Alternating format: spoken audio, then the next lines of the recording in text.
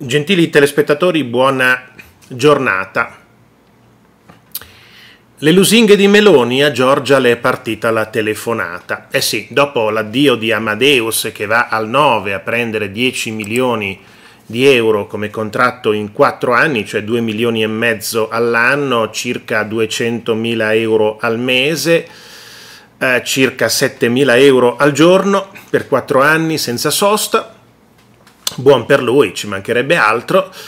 Che cosa farà Fiorello è la domanda che si fanno in tanti, perché per la RAI la sua assenza sarebbe una beffa, sarebbe un colpo duro da parare per i vertici di Viale Mazzini se alla presentazione dei prossimi palinsesti non ci fosse il nome di eh, Fiorello. Fiorello che diventa indispensabile quando tutti cominciano ad, ad andare via, ad andare alla 7, al 9, dove evidentemente li pagano di più, c'è anche chi è rete 4 come la Berlinguer dove ha avuto un aumento sostanzioso di entrate economiche e di programmi televisivi, adesso non vogliono eh, che Fiorello se ne vada, un possibile divorzio di Fiorello dalla televisione di Stato.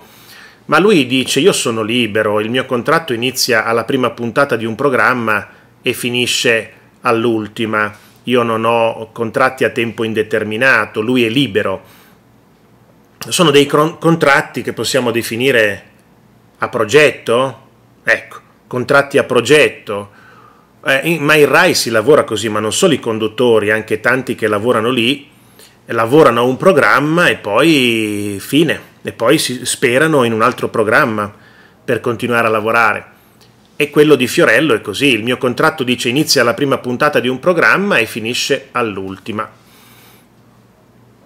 Il 9, che lui chiama la 9, eh, non è nei suoi piani, dice. Lo ha ribadito per l'ennesima volta a Viva Rai 2. Voglio ricordare che io e Amadeus siamo due persone diverse.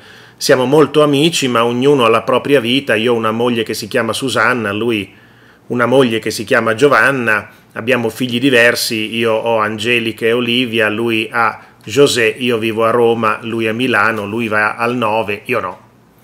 Se Amadeus cambia editore non significa che debba andarmene anch'io. Sul Corriere della Sera un retroscena parlava di una telefonata di Giorgia Meloni alla direttore generale della RAI eh, per chiedere che Fiorello resti in azienda a qualsiasi costo. E lui ha ironizzato Fiorello dicendo a Giorgia le è partita la telefonata. Eh, non è che voleva chiamare davvero, sapete quando eh, schiacciate per sbaglio sul telefono e ti parte, ti parte la telefonata. Ma è lusingato comunque per le parole di grande elogio spese nei suoi confronti. Ma che c'entro io?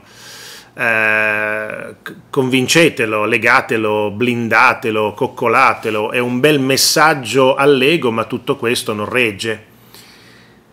Dice lo stesso, dice lo stesso Fiorello, eh, perché dice io ho un contratto, lo ripeto, solo con quello, il mio divano.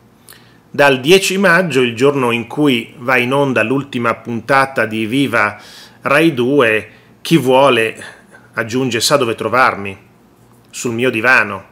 Mi riposo per un lungo periodo, vado in letargo.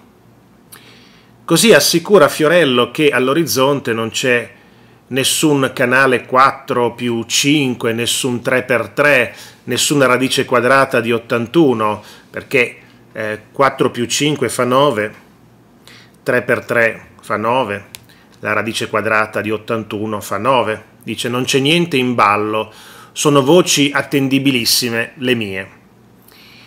Certo che quando tu fai, come si può dire, eh, quando tu vieni etichettato come il conduttore tipo alla Bonolis, come possiamo definirli i conduttori alla Bonolis?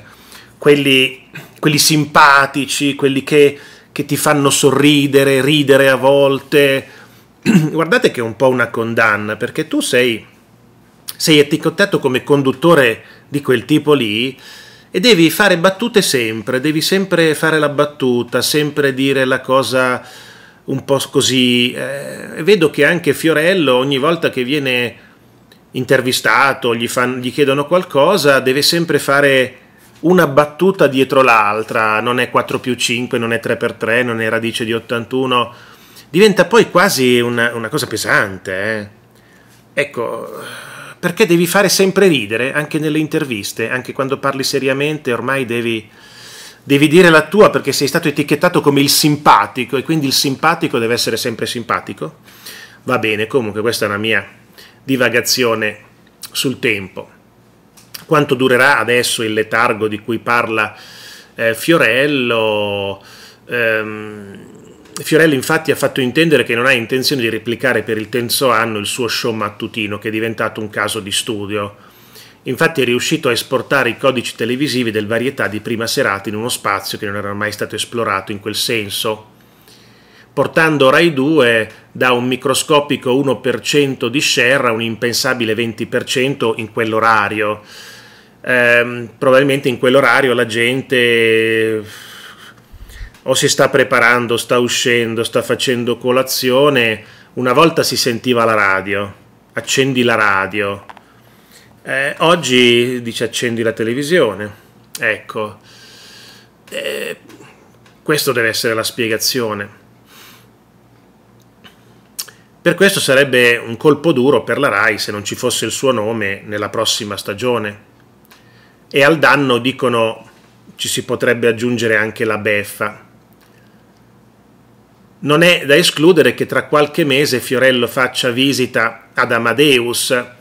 In Rai avrebbero dovuto fare uno show in prima serata in autunno in nome di un'amicizia che, eh, eh che ovviamente regge dai tempi di, di Radio DJ perché Amadeus, Fiorello, Gerry Scotti, Giovanotti e poi ce n'erano tanti altri che erano conduttori, Fabio Volo, Platinet, erano tutti conduttori di Radio DJ negli anni 90, quando Radio DJ era un cult. Eh, oggi questi personaggi sono tutti praticamente quasi tutti fuori dalla radio, qualcuno, qualcuno è rimasto in radio, però i gloriosi anni 90 di Radio DJ credo che non si potranno mai più ripetere perché era un concentrato di, di, di personaggi che poi hanno fatto tutti praticamente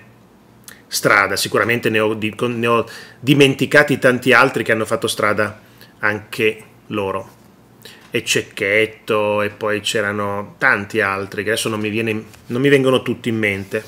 Grazie a tutti e arrivederci. A presto.